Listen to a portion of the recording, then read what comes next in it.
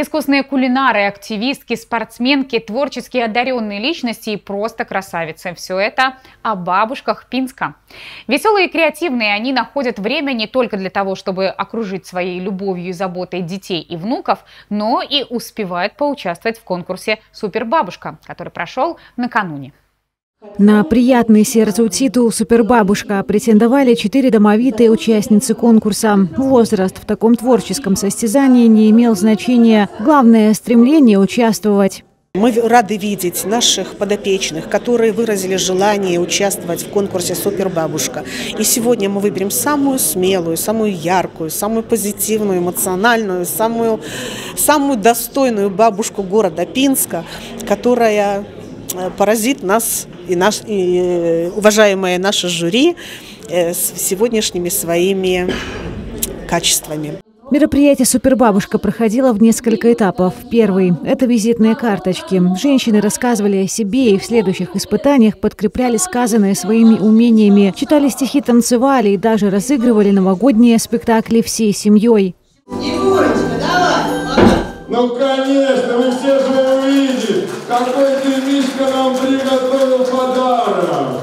Мудрость и обаяние. Я супербабушка. Так смело может заявить о себе далеко не каждая дама элегантного возраста. А Галине Алихвер в числе претенденток на победу такое звание подходит как нельзя кстати. В этот раз она попытается подтвердить завоеванный несколько лет назад титул. У нас в центре когда-то проходил конкурс, и я там заняла супербабушку. И сейчас очень ответственный момент подтвердить эту супербабушку. Поэтому волнение есть. В свои годы они полны сил, энергичные, всегда прекрасно выглядят и зажигают своим азартом всех вокруг.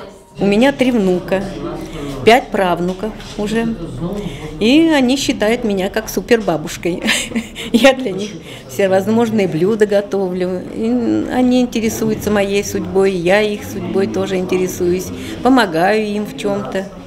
Вот поэтому, наверное, супер бабушка. Это бабушка, которая во всех отношениях супер. Ну, как бы я тоже стараюсь вести активный образ жизни. Очень люблю, любила люблю путешествовать. Всегда читаю стихи на любую тему о Белоруссии, о родине, о любви, о возрасте, о профессии. Вот то есть сегодня я тоже хочу продемонстрировать. Для наших внуков любая бабушка их самая милая на свете. И, конечно же, поэтому для них мы супер, каждая из нас. И, ну, а супер бабушка, мы готовим им, шьем, просто любим их и просто рядом находимся. Поэтому, естественно, мы для них и супер бабушки.